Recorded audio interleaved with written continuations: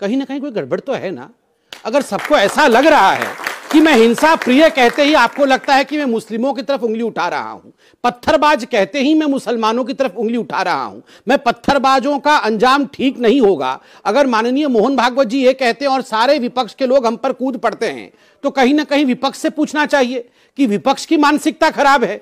पत्थरबाज मतलब मुसलमान है क्या? मैंने इनसे पूछा कि क्या मुसलमान पत्थरबाज है क्या? तो इन्होंने कहा हो, हो ऐसा है। नहीं नहीं मैं बता रहा हूँ क्या बोला उन्होंने। इन्होंने बोला हो, हो ऐसा है कि मुसलमान तो पत्थरबाज है इसमें कोई शक नहीं है। किंतु आप लोगों ने बाध्य किया है उसे पत्थरबाज बनने के लिए। कहा कि सेल्फ डिफेंस अगर घर तोड़ोगे तो पत्थरबाजी करेगा। बाय द वे पत्थरबाजी पहले हुई है बाद में घर गया है। उल्टा क्रम बता रहे हैं। उस हिसाब से तो ये कश्मीरी पंडितों को माउंट एवरेस्ट फेंकना चाहिए। पत्थर नहीं माउंट एवरेस्ट फेंकना चाहिए।